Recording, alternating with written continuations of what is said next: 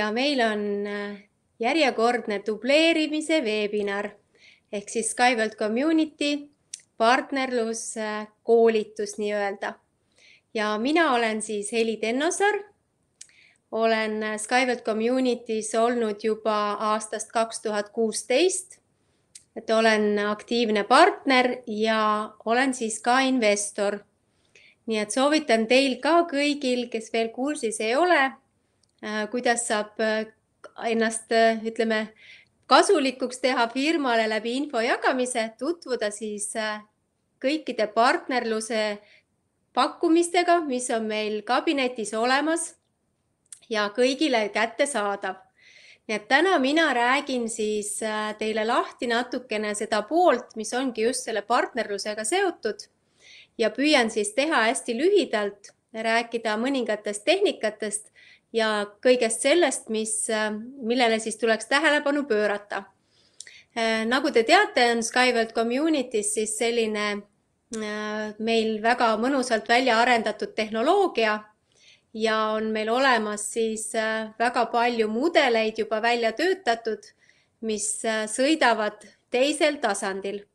ja see informatsioon on tõepoolest jagamist väärt, nii et ma tõesti, tõesti kõigile soovitan Äh, jagada seda infot edasi ka ja mitte olla ainult ise siis investor ja, ja võib-olla siis äh, tõepoolest mõelda niimoodi, et minust saab nüüd üks väga aktiivne ja tore SkyWorld community partner, kes jagab informatsiooni edasi selle väga võimsa tehnoloogia kohta.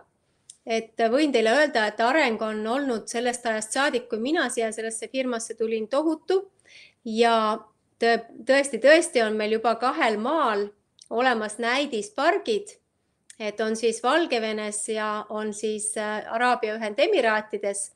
et äh, olen mõlemad äh, ise käinud vaatamas, täiesti veendunud, et nad eksisteerivad ja on olemas. nii et ei ole tegu siis mingisuguse väljamõeldisega, nii et võite julgelt seda informatsiooni siis jagada. aga kuidas me seda teha saame, vaatamegi siis natukene lähemalt et millised sammud äh, on vaja siis läbi teha, et, äh, et saavutada siin SkyWorld Community's partnerina ka edu. et äh, jah, üks osa on tõepoolest olla ainult investor, aga teine osa on siis partnerluse osa ja kõikidele neile, kellele see informatsioon väga meeldib ja tahavad ka teistele edasi anda seda, seda tõepoolest väärt, väärt infot selle tehnoloogia kohta siis äh, neile on võimalus läbi partnerluse äh, osaleda selles programmis ja partneritele pakutakse siis info jagamise eest äh, ka väga väärtuslikku tasu, et SkyWorld Community annab tõepoolest lausa viisteist protsenti inimestele info jagamise eest tasuna tagasi. nii et kogu see partnerlusprogramm on tõesti, tõesti meil valmis kujul kabinettides kättesaadav. nii et äh, tutvuge oma kabinettides just selle partnerluse all, oleva osaga. aga nüüd lähme samm-sammult edasi ja vaatame, et kui te olete nüüd otsustanud, et te soovite partnerina infot jagada, et mis siis tuleks nagu äh, sammud ette võtta, et äh, me tõepoolest see kõik hästi läheks. et kõige esimene osa sellest on siis panna paika oma eesmärgid teine samm on teha nimekiri kõikidest inimestest, keda te teate, tunnete. kolmas samm on planeerida oma aega, räägin see, et kõik punktid kenasti lahti, et teil oleks ettekujutus, kuidas seda kõike teha. ja neljas samm on siis kohtumistele kutsumine. viies on esitluste tegemine, et kuidas seda teha, et millele peaks tähelepanu pöörama. ja kindlasti kasutage siis oma kutsujat ehk siis oma nii-öelda mentorit ja küsige tema käest alati nõu, sest et ilmselt on tema olnud juba kauem siin SkyWorld community info sees ja teab äh, kõikidest asjadest rohkem. ja päris viimane punkt, millest ma teile räägin, on vastuväited, sest äh, neid tuleb tõesti igapäevaselt ette kui te hakkate informatsiooni jagama, sest inimesed on tehtud väga tundlikuks.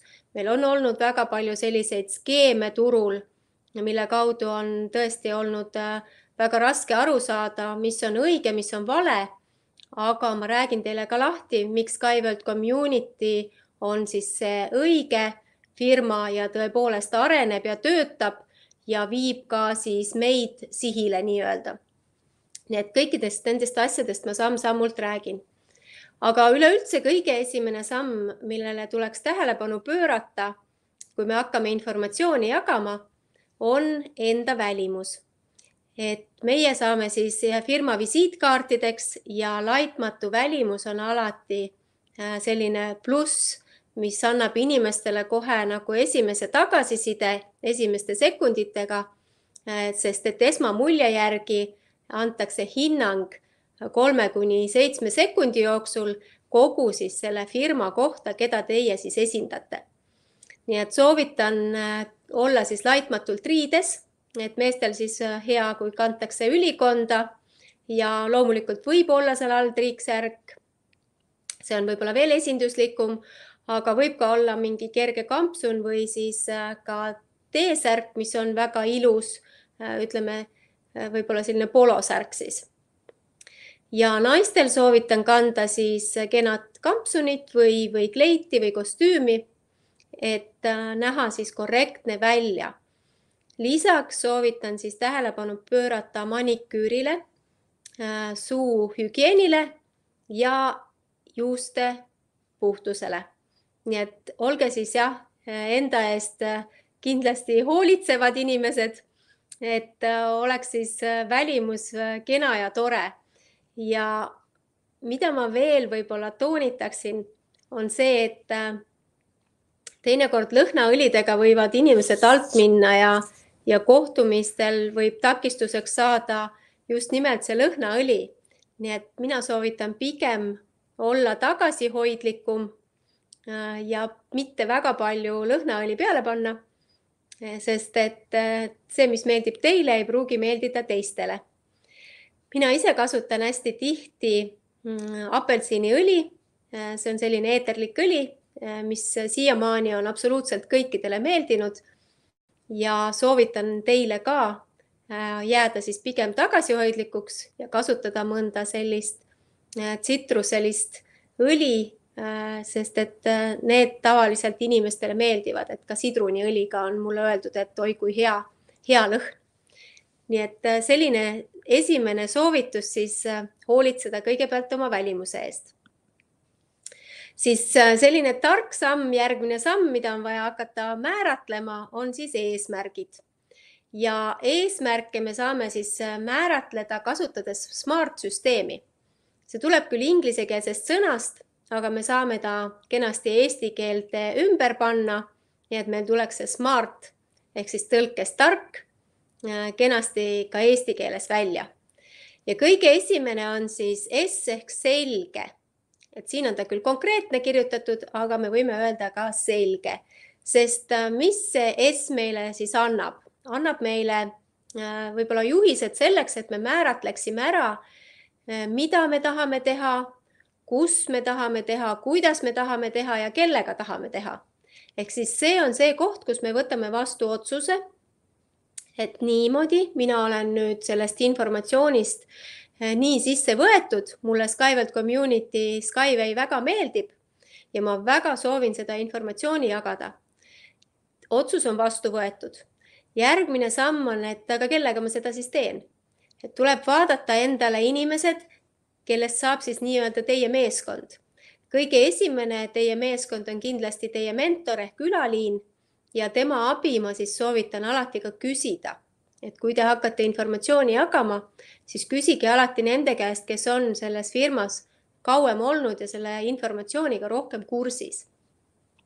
ja panete siis paika ka endale selle, kuna te pihta hakkate ja mismoodi te pihta hakkate. Ehk siis teil oleks selge esimene samm. teine ehk siis M on mõõdetav. see tähendab seda, et Äh, kõik teie eesmärgid oleksid äh, teile ka silmaga nähtavad või noh, öeldakse käega katsutavad. et meie partnerlusprogrammis on siis karjääriredel ja kõige esimene samm on liidri staatus, mis tähendab seda, et teil peab vähemalt olema kolm partnerit, kes on teinud investeeringud ja te ise peaksite olema teinud ka investeeringu, mis on vähemalt kakssada dollarit. siis te saate staatuseks liider. vot see võikski siis olla esimene mõõdetav eesmärk ja neid staatuseid tuleb siis järjest juurde, et on master, on järjest kõrgemale. et mina olen saanud siis kätte top-eksperdi staatuse ja mul on veel üks samm minna, mis on kõige kõrgem aste ehk Sky ekspert et äh, rohkem siin karjääriredelil ülespoole minna praegu võimalik pole. aga võib-olla tulevikus on. nii et, et me kunagi ei tea, mis plaanid firmal on, aga ma võin öelda seda, et te olete õiges kohas ja Skyward Communities on tööd meile paljudeks aastateks, sest äh, kui nüüd meil siin jõuab lõpusirgele see Skyway projekt Äh, mida me kõik äh, tõepoolest pikisilmi ootame, et hakatakse juba varsti siin äh, ehitama, eks ju. siis tulevad veel uued projektid ja partneritele jagub tööd veel kauaks-kauaks. nii et väga soovitan selles firmas siis partnerina osaleda. kolmas ehk A on siis saavutatav ehk siis aktuaalne. See tähendab seda, et kõik peaks olema teie soovidega kooskõlas ehk teie jaoks siis aktuaalne et äh, te peaksite olema nagu sellel lainel, et te tõepoolest olete võimelised äh, selle informatsiooni jagamisega tegelema ja teie jaoks on see tähtis. et äh, kui te teete seda niisama mööda minnes ja võib-olla ei, ei ole teil kindlat sihti, siis ei tule ka tulemust ja teie esimene inspiratsioon ja motivatsioon võivad siis langeda. aga Äh, kindlasti on seda võimalik äh, nii-öelda üles turgutada uuesti, kui te küsite oma mentori käest nõu ja peate temaga natukene aru.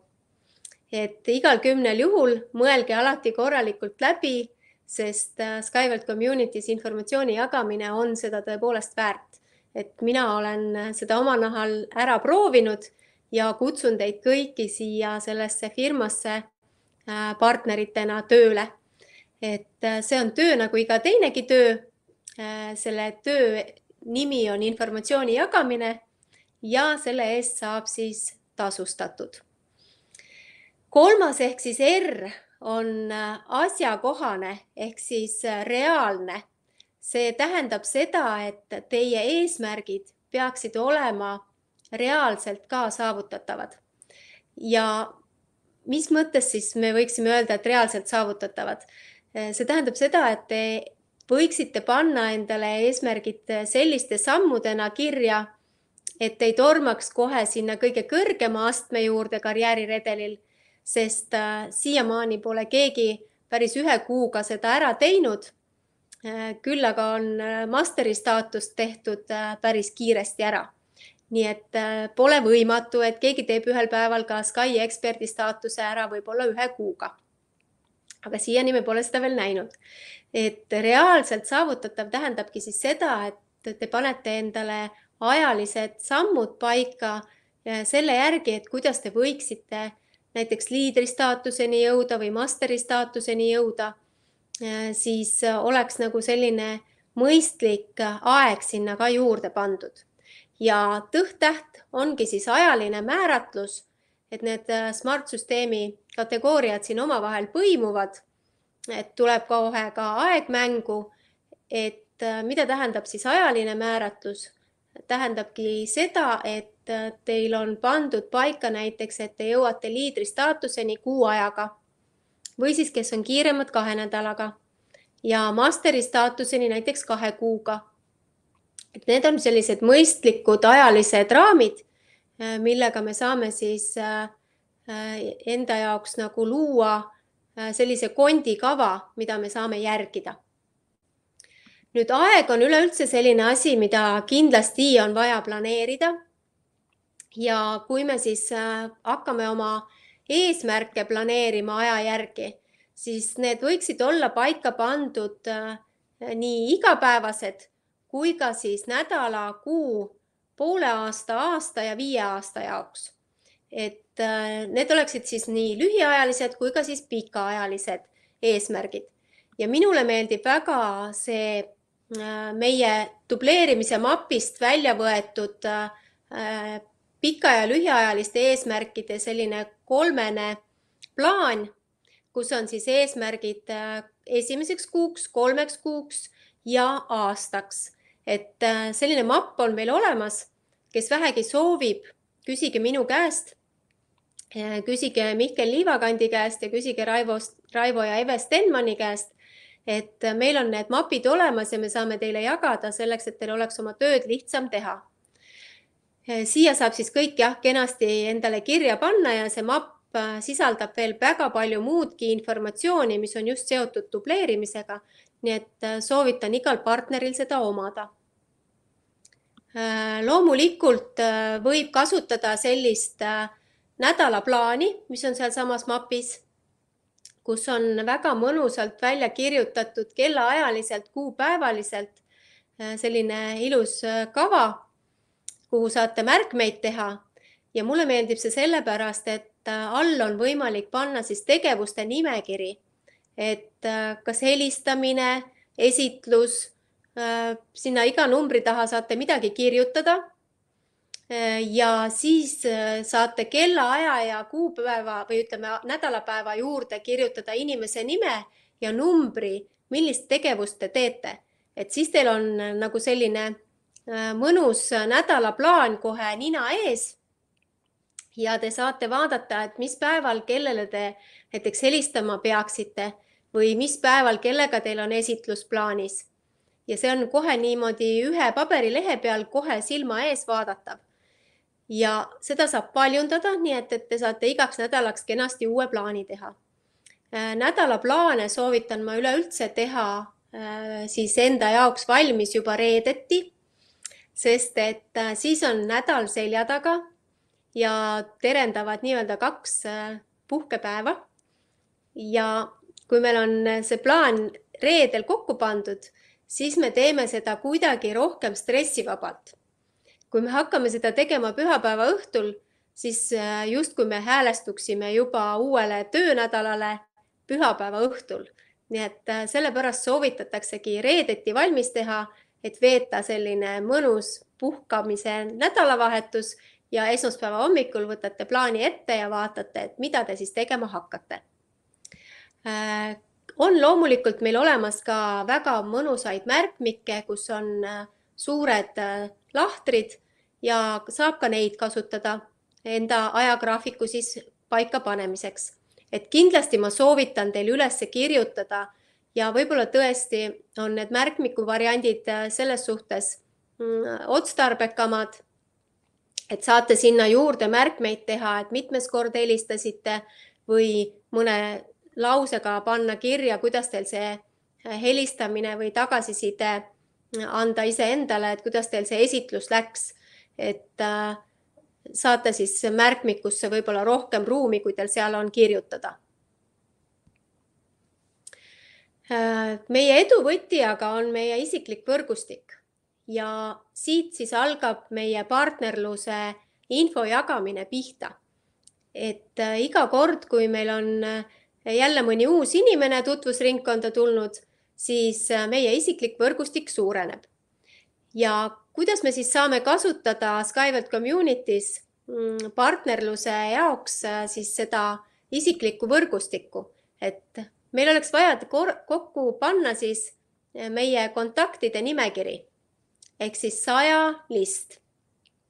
seda kutsutakse lihtsalt niimoodi saja listiks, et justkui sada nime äh, peaks minimaalselt seal selles nimekirjas olema Eh, jah, ma ütlengi, et minimaalselt, sellepärast et maksimaalset piirangut ei ole.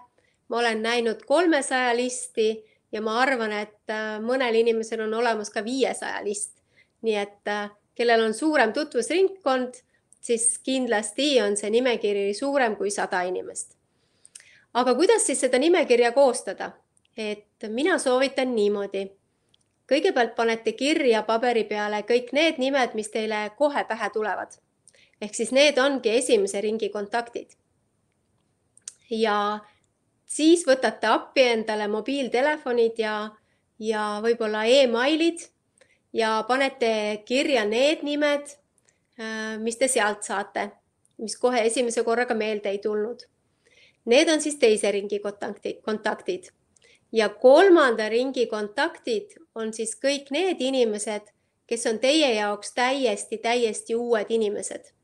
Need, keda te saate alles tuttavaks et äh, ükskõik siis kus, et praegu küll on keerulisem aeg, aga ma loodan, et äh, tehakse uuesti meil nüüd jälle see karantiin äh, lahti nii-öelda, et lastakse inimesed jälle suhtlema. et siis võib tõepoolest ka poe, poes kellegagi kohtuda või siis jõusaalis kellegagi kohtuda.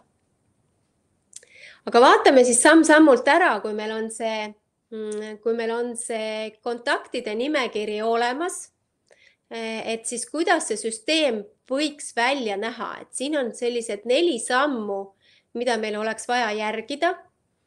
ja kui meil on siis kontaktide nimekiri olemas, siis esimene samm oleks kutsumine. et kutsuda saab siis äh, silmast silma äh, või siis telefoni teel. et kutsumine siis kuhu? kutsumine samm kaks osalema veebinaril või siis tutvustaval loengul et äh, praegu neid loenguid meil äh, ei tehta kahjuks, et on ainult äh, online veebinarid, aga need online veebinarid toimuvad siis regulaarselt kaks korda kuus, on eestikeelsed ja on ka inglisekeelsed. et järgmine eestikeelne tehnoloogiat tutvustav ja uudiseid jagav veebinar on siis neljandal mail kell seitse õhtul ja juhib seda Mihkel Liivakant kui on nüüd kutsutud osalema siis äh, veebinarile ehk siis kuulama veebinari, siis kolmas samm on kindlasti järeltöö. Teie kui partner võtate siis ühendust oma potentsiaalse kliendiga ja uurite, kuidas talle meeldis äh, see veebinar, mida ta sealt kasulikku sai ja üleüldse, kuidas see informatsioon talle meeldib. ja kui siis äh, sealt tuleb positiivne tagasiside, siis äh, kindlasti on neljas samm kohe sealt järgneb, kaasamine süsteemi ja toetus. et äh, siis saate teie juba partneriks ja toetate oma uut klienti partnerina, jagate talle informatsiooni, vastate tema küsimustele. siin soovitan jälle ühte väga head raamatut endale hankida, mille, mille nimi on siis Sada küsimust, sada vastust see on Anatoli Junitski poolt äh, välja töötatud äh, küsimuste-vastuste raamatukene kõige sellisematele levinumatele küsimustele ja seda ma soovitan siis kindlasti endale hankida, sest seda on hea anda lugeda ka teistele. nii, vaatame siis, kuidas kohtumistele kutsuda saab. et üks võimalus oli meil siis silmast silma, eks ju aga teine võimalus, mis tundub natukene alati võib-olla natukene raskem, siis teine võimalus on telefonikõne etikett. tehke endale selgeks ja pange kirja, kuidas te seda telefonikõnet teete, et mis on selle kõne eesmärk. looge omale selline stsenaarium, et mida te räägite, et kõigepealt mõelge läbi kõik see jutt, mis aitab teil nagu eesmärgini jõuda. ja te võite täiesti vabas vormis selle teha ja panna seda ka kirja siis paberi peale, sest et see aitab teil keskenduda ja kui nagu järg käest ära läheb, siis äh, aitab ka järje peale tagasi jõuda. et mina soovitan jah, endale koostada sellise kondikava äh, just äh, kas märksõnadega või siis terve tekstina ja ja siis on teil hea võimalus hoida ennast kogu aeg joone peal. eriti alguses, et äh, alguses on natukene keeruline teha seda telefonikõnet, sest me ei ole ju harjunud helistama. Äh, tavaliselt me helistame sõpradele-tuttavatele ja räägime niisama juttu, aga eestlane ei ole väga harjunud sellega, et ta helistab äh, nagu telefoni teel ja pakub midagi. kuigi meil on ka juba telefonimüügifirmasid tekkinud küll ja veel kindlasti kirjutage endale teise paberi peale välja põhjused, mis kasu äh, teie potentsiaalne klient siis sellest saab. ja Te võite lausa terve teksti äh, välja kirjutada ja märgistada ära äh, märksõnad, ehk siis mina soovitan markeriga tõmmata kollaseks. et äh, siis on teil olemas sellised märksõnad, mida te vaadates kohe märkate ja taipate, et millest te rääkima pidite. ja veel üks väga hea soovitus teile, enne kui te üldse kõnet tegema hakkate, viige ennast sellisele positiivsele lainele sest paha tujuga tehtud kõne mm, nakkab teisele poole ka nii-öelda, et teie potentsiaalne klient kuuleb teie hääletoonist ära, et teil on äh, mitte kõige parem tuju ja see võtab ka tema sellesse energiasse sisse. aga kui te teete endale tuju heaks, äh, kas äh, teete mõne, loete mõne nalja või, või panete mõne hea muusikapala mängima enne kõnet, Eh, siis on see sagedus, energiasagedus hoopis teine ja, ja teie potentsiaalne klient tajub seda ka hoopis teistmoodi. Kui te nüüd rääkima hakkate, siis püüdke rääkida hästi aeglaselt ja selgelt, et eh, teine osapool saaks teist väga kenasti aru. ja kõne ajal naeratage, sellepärast et eh, naeratus muuseas on teisele poole telefonitoru väga hästi kuulda Eh, kui te närveerite, see on, see on väga okei okay. Mina närveerin ka alati, kui ma mingit esitlust teen või, või kellelegi helistan, just nimelt äh, nii-öelda tööasjus. sest ma ju ei tea kunagi, kuidas see kõne, kõne kujuneb. aga närveerimine käib asja juurde ja ongi üks osa sellest telefonikõnest kui teil on nüüd fraasid valmis kirjutatud, siis püüdke seda mitte maha lugeda et olen kuulnud küll äh, ka neid telefonifirmade helistajaid, kes loevad teksti nagu robotid ja siis nad ei lase isegi vahele ühtegi sõna öelda. nii et püüdke teie siis mitte seda viga teha ja, ja katsuge, katsuge nagu äh, neid fraase ainult vaadata ja ise seda juttu rääkida. et äh, kõige parem ongi tavaliselt ikkagi harjutada, harjutada eelnevalt siis selle kõne tegemist ja veel võib-olla väga oluline asi, et kui te helistate, siis ärge tehke muid tegevusi samal ajal. Et äh, kuulda on ka see, kui te kohvi joote või, või sööte. nii et äh, austage siis oma potentsiaalset klienti ja, ja pühendage ennast ainult talle. kui aga juhtub selline asi, et öeldakse teile, et ei, ma ei soovi, siis äh, ärge sellest nagu ära ehmatage sest te võisite tabada nagu valet momenti ja mitte, mitte just inimest äh, noh, ütleme niimoodi heal hetkel segada, vaid, vaid tal oli äkki midagi muud käsil ja see kõne tuli talle niimoodi häirivalt sisse ja ta ütleb esimese asjana, et ei, ma ei taha kuulda mitte midagi. siis mina võtan alati seda justkui võib-olla märk, märkena, et inimesel puudub äh, piisavalt informatsiooni või ma sattusin valel ajal ja ma alati küsin, et äh, kas ma võiksin uuesti helistada, et kas teil on mõni sobivam hetk. ja üldjuhul mulle vastatakse, et ja, et helista mulle tunni aja pärast või kahe tunni pärast või helista mulle homme. et äh, tõepoolest, et inimestel võib olla mingeid muid tegevusi sellel hetkel, kui mina helistan.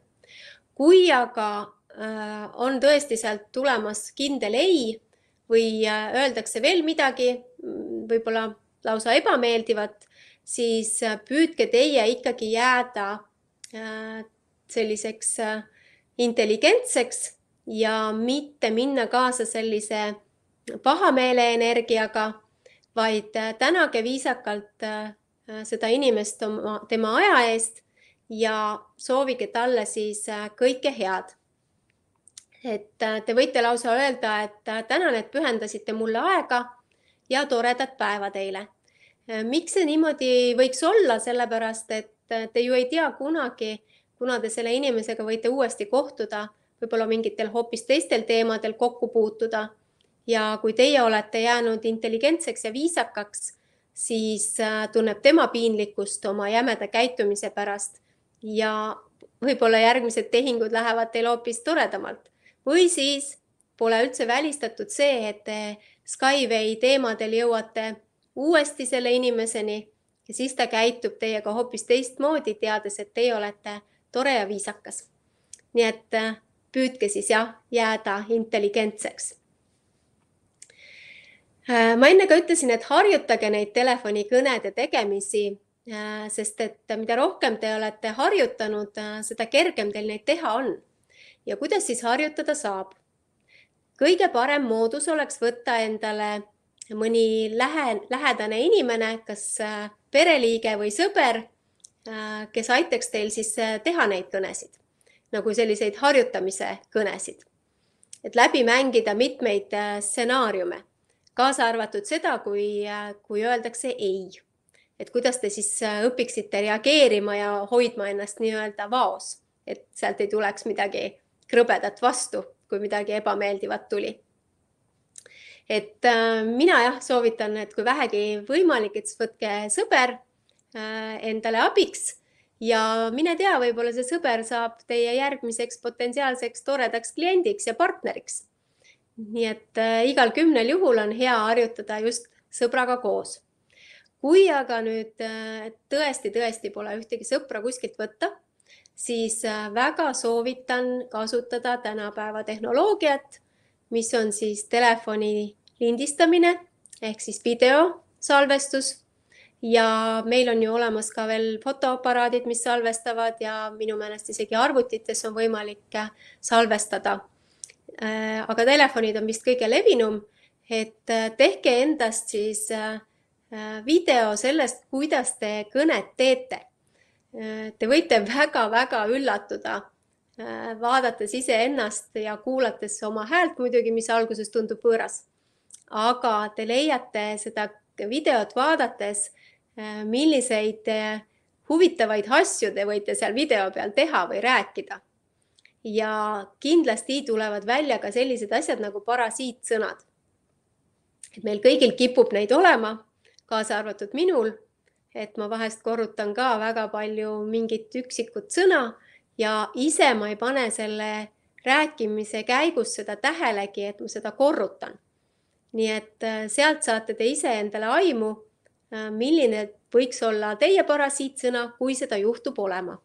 ja pealegi saate te ka aimu sellest, äh, kuidas te kõne ajal või, või telefonikõne ajal siis ise nagu käitute või liigute või liigutate ennast. et mina olen näinud inimesi, kes vehivad peaga. mina ise olin alguses selline, kes vehkis tohutult kätega ja, ja noh, ütleme nii, et loomulikult mingid asjad on ju lubatud, et äh, pead ikka võib liigutada, aga et mitte siis äh, kakskümmend korda järjest. et sealt saate siis ise vaadata selle video pealt, mille te salvestate, mis teid ennast häirib, et ilmselt häirib siis te, teda, teie potentsiaalset klienti ka võib-olla. saate siis läbi selle kõvasti, kenasti harjutada ja mis veel on hästi oluline, ongi see, et kui te satute siis äh, helistama inimesele, kes astub teiega vestlusesse ja ta esitab teile küsimusi või, või tahab nagu ka sõna vahele öelda, siis äh, lubage tal seda teha.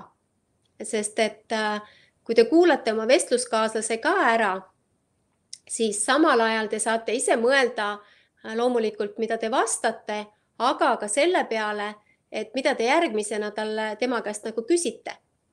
ja püüdke siis tähelepanu pöörata ka sellele, et kui te räägite sellest Skyward community'st, meie tehnoloogiast ja teise tasandi transpordist, et äh, siis te räägiksite umbes niimoodi, et äh, teil oleks hääles äh, tohutu entusiasm ja, ja selline kirg. sest ma, ma toon teile näite võib-olla, et siis on nagu lihtsam, lihtsam jälgida.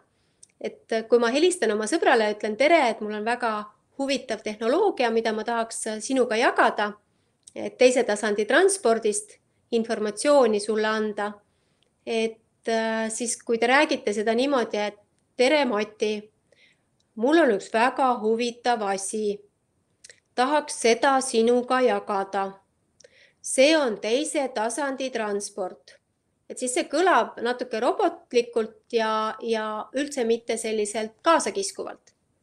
aga kui te helistate niimoodi. oi, tere, Mati. tead, mul on üks väga-väga äge uus informatsioon.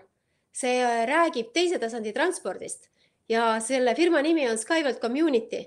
et ma tahaks sulle ka sellest rääkida, sest ma ise olen täielikus vaimustuses. et siis see kõlab hoopistükkis kaasakiskuvamalt ja tekitab ka teie sõbras või potentsiaalses kliendis huvi, et mis asi see siis on, millest te talle rääkida soovite. ja veel kord toonitan siis kõik, mida te räägite, proovige siis panna kirja märksõnadega, et äh, ärge lugege maha või kui te olete tõepoolest nii hästi harjutanud et te loete oma teksti maha, ma tean ühte inimest vähemalt, kes luges teksti maha, nii et tal olid isegi komad ja sidesõnad seal vahel kirjas. ja ta vahetas intonatsiooni ja tegi pause seal vahel, nii et põhimõtteliselt äh, aru ei olnud saada, et ta maha luges. et kui te olete nii professionaalne, siis loomulikult võite maha ka lugeda, aga esialgu soovitan siis äh, tõepoolest tõmmata oranži äh, vildikaga või kollase markeriga siis Mm, endale märksõnadele jooned alla või, või üldse niimoodi ära märkida, et te saate siis hoida ennast joone peal. et kokkuvõtvalt võiks siis see telefonikõne olla, olla siis äh, kava poolest selline. pöördumine õige inimese poole, see tähendab seda, et te valite teie jaoks välja kõige äh, teile meeldivama inimese oma saja kontaktilistist, keda te arvate, et vot temaga võiks nüüd küll äh, hästi minna ja tema on selline soe ja tore inimene. Äh, kindlasti küsige alati, kas inimesel on hetk aega rääkida, sellepärast et võib-olla ta teeb midagi, mingit tegevust ja ta ei saa rääkida. et kui ta ütleb, et ei ole aega rääkida, leppige mõni muu aeg kokku. kui nüüd on aega rääkida, siis lühidalt tutvustage ennast, et tutvustamiseks võiks kuluda maksimaalselt kolmkümmend sekundit. et võite siis öelda, et äh, tere, mina olen Heli Tennosaar, olen äh, Skyworld Community top ekspert, olen äh, selles firmas investor ja partner ja soovin teie, teile jagada informatsiooni teise tasandi transpordi kohta. et kohe sujuvalt tuli välja ka kõne eesmärk, et andke siis inimesele teada, millega seoses te helistate, aga tehke seda hästi lühidalt ja konkreetselt. et kui ta küsib nagu rohkem informatsiooni, siis pakkuge talle välja, et te teete talle lühitutvustuse, mis on viisteist minutit pikk. noh, ütleme kümme kuni viisteist, et teete talle lühitutvustuse ja annate talle informatsiooni või kui ta on nõus ja tal on aega tulema siis pikemale veebinarile, mis on meil kaks korda kuus, et siis saate talle ette helistada ja öelda, kuna see veebinar toimub ja saata siis selle veebinari lingi ka talle. Äh, kui te kirjeldate, kes te olete ja millega tegelete, siis äh, tehke seda sellisel äh, kergel, mõnusalt toonil, sellepärast et see on niisugune jäädmurdev tegevus nii-öelda. ja tasapisi siis äh, jõudke selleni, et saate siis äh, inimesega kokku leppida, kas kokkusaamise või siis äh, ka järgmise kohe nagu esitluse.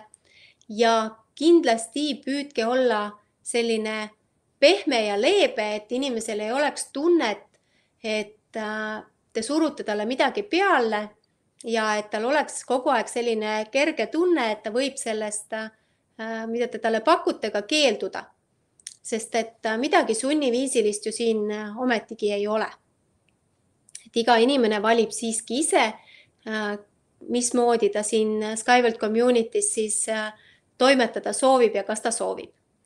et minu informatsioon on alati olnud selline, et ma ütlen, et meil on siin väga-väga põnev ja see informatsioon ja see tehnoloogia on täiesti uuenduslik, et ma jätan mingid otsad lahti et ma püüan alati tekitada omaga sellise telefonivestlusega inimeses huvi, et ta tõepoolest tahaks mind äh, järgmine kord ka veel kuulata. ja ma püüan siis äh, hästi rahulikus tempos rääkida ja mitte vuristada, et äh, inimene saaks aru ka, mida ma siis talle edasi nii-öelda jagan ja annan. nüüd on sellised closing'u tehnikad, et üks closing'u tehnika, mis ma siin välja olen toonud, puudutab nüüd konkreetselt partnerlust. ja, ja on olemas siis ka ütleme siis äritehingute closing ud ja väga tihti inimestel jäävadki nende closing'u tehnikate taha äh, need äh, lõppvormistused, ütleme siis nii, et, et tegelikult justkui ei osata väga seda juttu kokku võtta ja tehingut justkui lõpule viia. Et äh, kui siin nüüd võtta seda kui partnerlust, siis esimene küsimus kliendi huvi kontrolliks on siis, äh, kuidas teile meie projekt meeldib. et seda võib äh, kasutada nii äritehingute puhul kui siis ka selle puhul, mm, et äh, lõpuks jõuda partnerluseni. et mis tõmbas näiteks enim teie tähelepanu, et see on selline kõige levinum võib-olla küsimus, sest siis inimene annab teile tagasisidet selle kohta, mis talle konkreetselt meeldis selleks, et teie saaksite rohkem informatsiooni kui palju inimest üldse huvitab see teema, siis äh, saate küsida äh, näiteks, et äh, öelge mulle kümne punkti skaalal, kus teie ennast asetate, kuhu teie ennast asetate. et informatsiooni nagu korral, huvi korral, et kuidas teile see projekt meeldib, et, et kui teile üldse ei meeldi, et siis üks punkt ja kui te olete väga sellest huvitatud, siis kümme punkti. Ja kui inimene asetab ennast kuskile sinna viie punkti peale näiteks, siis teil on hea, hea teada, eh, teil on hea eh, mõelda, et tal on veel vähe informatsiooni võib-olla, et saate talle midagi juurde rääkida või siis veel rohkem näidata, mida tema sellest projektist nagu kasu saab.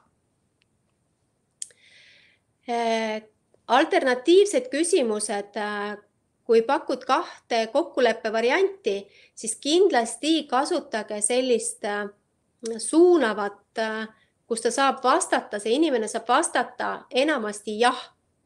et siin on nüüd konkreetselt äh, investeerimispaketi näide, et saabki siis küsida, kui inimene soovib investeerida, et kas me lepime kokku järelmaksupaketis või ühekordses investeeringus.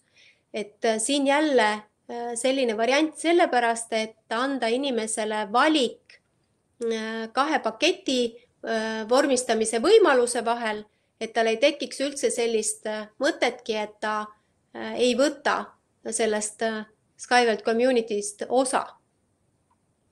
Ja üks, üks võimalus siis veel, kui, kui on ära tehtud ta, meil kabinetis juba siis nii-öelda Mm, isiklik äh, kabinet igale ühele äh, on see võimalus olemas täiesti tasuta, siis äh, saab inimese käest küsida, et kas me valime teile paketi kohe välja või teeme partnerlusleppe esimesena.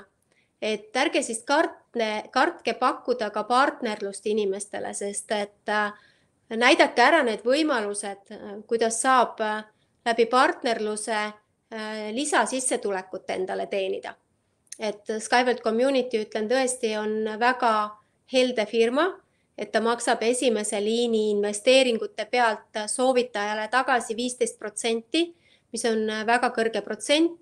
Ja tõepoolest see tuleb absoluutselt koheselt, ilmub meie kabinettidesse see protsent kohe äh, nähtavale, mis te olete boonustena saanud. Ja siis te saate seda oma äranägemist järgi kasutada. Et äh, kasutada teda siis kas uuesti ise investeerimiseks või siis kanda välja ka oma pangakontole, et need kõik võimalused on olemas ja need töötavad väga-väga hästi. Vastuväited, see on üks äh, tõsine selline pähkel inimestele, kes veel võib-olla alles alustavad selles Skyward community's ja ei ole kõigega kursis siis siin on sellised kõige levinumad vastuväited, mida mina olen ka kuulnud ja minu praktikas on ette tulnud. et esimene asi, mida öeldakse, et see on minu jaoks liiga kallis. Äh, mina näitan alati ära meil kõik investeerimispaketid ja kuna on tegu siis äh, crowdfunding uga ehk siis rahvarahastusega, siis tõepoolest on tehtud äh, kõikidele inimestele hästi taskukohaseks see investeerimine ja meie investeeringud algavad pihta kahekümne viiest dollarist. et on võimalik võtta siis järelmaksuga pakett ja igakuine kakskümmend viis dollarit, mis praegusel hetkel on umbes kakskümmend kolm eurot, äh, on enamasti kõikidele inimestele, kes äh, siis tõepoolest tööl käivad, äh, täiesti taskukohane. kui nüüd öeldakse, et mul pole nii palju raha, et investeerida, siis mina näitan ära võimalused partnerluseks, sest siin on tõesti välja toodud selline hea võimalus, et kui te soovitate informatsiooni edasi ja läbi teie soovituse äh, tuleb uus investor, siis teie kabinetti kantakse boonusena viisteist protsenti selle investeeringu pealt. Ja teie kui soovitaja olete saanud siis äh, reaalset raha. Ja sedasama raha saab siis ju investeerida. nii et teil tekib võimalus ka ise investeeringut teha nii et mina soovitan seda informatsiooni kindlasti edasi jagada, et on olemas partnerlus, partnerlusprogramm ja läbi selle on võimalik saada siis lisasissetulekut.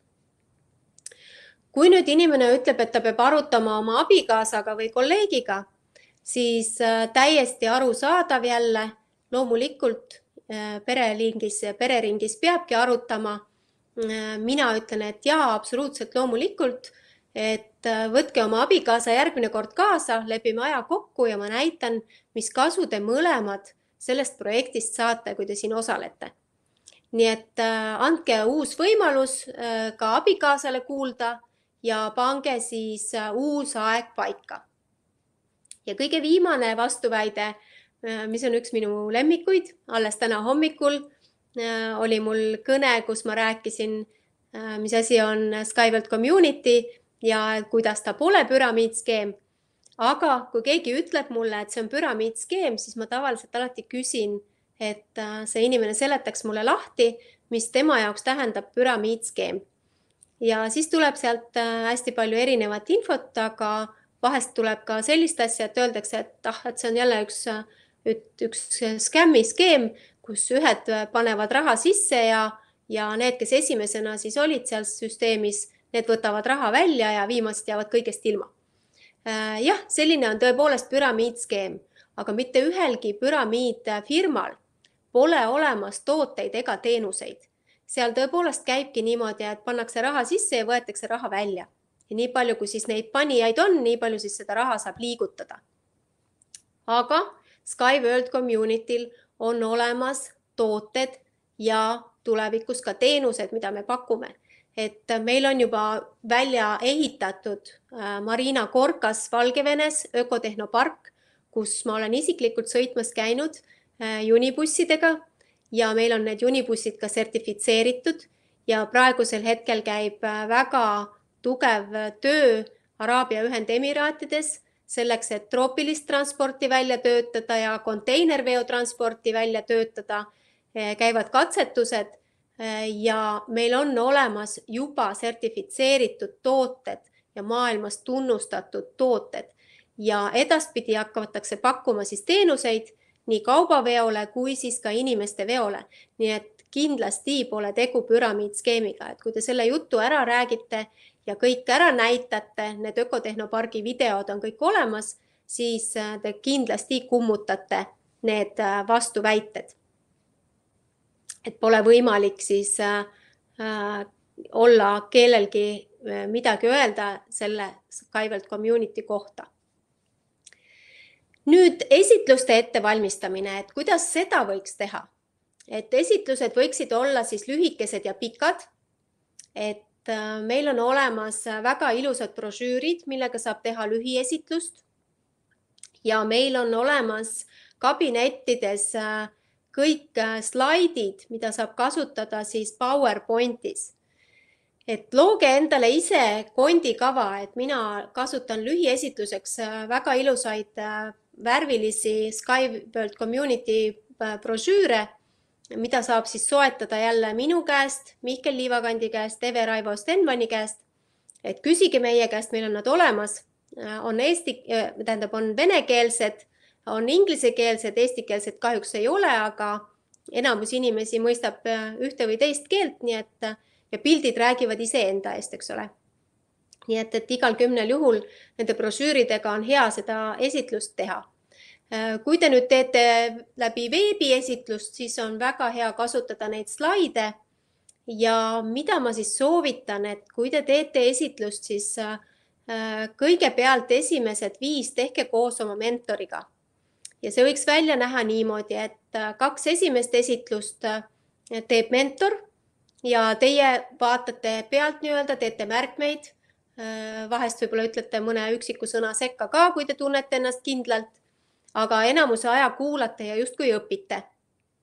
siis kolmanda esitluse võiksite teha fifty-fifty, et äh, valite välja siis need osad, mis teile tunduvad juba nagu, et te juba hästi oskate rääkida nendest ja mentor räägib siis neid, mida te veel nii hästi võib-olla ei oska. ja kolmanda, kolmanda tegite ära, siis neljanda ja viienda võiksite teha täiesti iseseisvalt. aga mentor on ikkagi teil juures.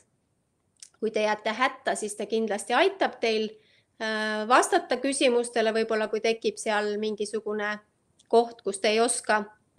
ja sellel ajal mentor teeb märkmeid ja pärast panen mentoritele südamele, et kindlasti andke positiivset tagasisidet, et äh, säiluks siis teie äh, partneril, kes esimesi oma esitlusi teeb, äh, selline mõnus positiivne tunne, et ta ikkagi tahaks jätkata nende esitluste tegemisega.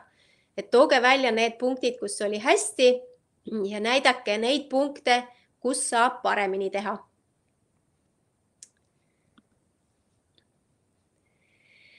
klientidele näidake kindlasti ära, et äh, sellesse projekti investeerimine on arukas ja oluline, et kui te nüüd koostate oma sellist kava, et mida rääkida, siis näidake kindlasti ära äh, kõik need positiivsed sammud, äh, tooge välja, mis siis Skywelt Community's on, et ta on teise tasandi transport, ta on kiire, eks ole, ta on ökoloogiliselt puhas. Äh, ta on äh, väga odav ehitada, ta on väga odav kasutada, et kõik need äh, tooge välja, näidake, miks see hea on, see investeerimine. Ja näidake ka seda, et tulevikus on sealt tulemas dividendid. et selle projekti pealt saab siis iga investor tagasi väärtusi dividendide näol. Näidake ära, et see on väga usaldusväärne, et meil on väga mitmed pangad Äh, siin järel, meil on äh, mitmeastmeline identifitseerimine, et see ei ole mitte niisama mingi suvaline kabinet, kuhu me sisse logime ja midagi teeme, vaid äh, me peame ennast enne tuvastama. me peame ära näitama, et me oleme reaalselt eksisteerivad inimesed, et rääkige ka see pool lahti, et see ei tuleks nagu inimestele üllatusena, et nad peavad ennast verifitseerima Äh, kindlasti küsige küsimusi äh, oma kliendi käest ja tehke enda jaoks selgeks, et mida ta tegelikult tahab, sest inimeste ootused on hästi erinevad. et mõni tahab osaleda väga ägedas uues tehnoloogias, et olla selle innova-, innovaatilisuse juures. Äh, teine tahab võib-olla ökoloogilist jalajälge jätta maha endast ja kolmas tahab saada dividende, et ja, ja võib-olla veel midagi, nii et, et tehke kindlaks, et mis, mis, millest on teie äh, klient siis huvitatud ja mis on tema jaoks siis see äh, kõige kõigem, äh, miks ta võiks siin selles Skyward Community's osaleda. kindlasti näidake ära paketid, näidake populaarsed paketid ära, näidake odavad ära, näidake kallid ära ja rääkige need lahti, et on ka võimalus siis järelmaksuga investeerida selgitage ära, millised on meil arenguetapid, meil on kokku neid viisteist, et me praegu oleme kolmeteist poole peal. Ja äh, lõpuni siis ei olegi väga palju jäänud, näidake ära see ka, et mis plaanid meil siin on enne lõppu veel, mida teha. ja kindlasti aidake siis inimest oma kabineti registreerimisel, sest see on täiesti tasuta ja miks ma seda soovitan teha, on see, et ähm, kui inimene registreerib omale kabinetti ära, siis ta pääseb ligi juba olemasolevale informatsioonile, äh, näeb iseseid investeerimispakette, saab lugeda uudiseid, mis on kronoloogilises järjekorras seal kirjas kõik. nii et äh, kõik äh, selline asjakohane ja hea info on kabinetis olemas ja teades Eesti inimese sellist äh, tahtmist ise kõike vaadata, et äh, keegi ette ei ütleks, ise käia lugeda, siis äh, see on üks hea võimalus, kui te avate siis oma potentsiaalsele uuele kliendile tema isikliku kabineti. meil on olemas ka reklaammaterjalid, erinevad siis brošüürid, nagu ma rääkisin, on väga head abimaterjalid esitluste tegemisel aga meil on ka pastakaid, ploknoote ja on võimalik tellida ka visiitkaarte, nii et kui te olete juba partner, siis äh, tellige endale ka visiitkaardid, sest see on selline hea äh, võib-olla äh, reklaam, kui te ulatate oma visiitkaardi ja ütlete, et te olete Skywelt Community partner ja teie nimi on see ja see ja et see on edaspidiseks kontakti võtmiseks. nii et Äh, või siis kingite näiteks äh, oma uuele kliendile Skyward Community logoga pastaka. et iga kingitus teeb meele heaks, olgu see siis pastakas või, või brošüür või siis esitatud visiitkaart. Äh, kindlasti, kui te olete ära teinud kas kõne või esitluse inimesega, siis andke talle kõik Äh, see edasi, mida te lubasite. et kui te lubasite saata materjale, siis tehke seda kohe peale esitlust või kõne lõpetamist. või kui te lubasite jagada informatsiooni mingit juurde, siis äh, täpselt samamoodi ärge lükake edasi. Äh, miks see niimoodi on, et te peaksite kohe tegutsema? sellepärast, et on tehtud siis statistikat, et mida siis toob kiire järelsuhtlus ja Äh, see tõepoolest näitab, et päev pärast äh, informatsiooni jagamist on tõenäosus, et inimene on teiega ühel lainel seitsekümmend protsenti ja mida kaugemale see läheb, siis kümne päeva pärast äh, inimene mäletab kõigest sellest, mida ta kuulis või mida teie rääkisite ainult seitset protsenti ja jahtub nii-öelda maha. nii et minu soovitus on teile siis ärge laske klientidel maha jahtuda ja ärge jahtuge ise ka maha olge ikka meie partnerluse lainel, eh, jagage julgelt informatsiooni, küsige julgelt küsimusi, võite ka minu poole pöörduda ja küsimusi küsida. et eh, olen eh, olemas teie jaoks ja kõige rohkem oleme me olemas teie jaoks läbi esitluste ja need toimuvad järgmiselt. Skyway tehnoloogia tutvustus ja uued uudised on siis neljandal mail kell seitse õhtul ja järjekordne dubleerimise koolitus toimub kuuendal mail kell seitse õhtul. nii et mina tänan teid täna jälle kõiki osalemast. Äh, mul on hea meel, et teid on täna siin päris palju ja ma soovin teile toredat algavat reedet, äh, kaunist kevade jätku ja palju-palju edu äh, Skyward Community partnerluse vallas. jagage informatsiooni ja ma arvan, et me juba järgmistel aastatel saame näha Skyway äh, neid juunibusse sõitmas siin võib-olla Eestimaalgi. nii et äh, pöidlad pihku ja informatsiooni jagama. kõike, kõike head teile ja kohtumiseni mais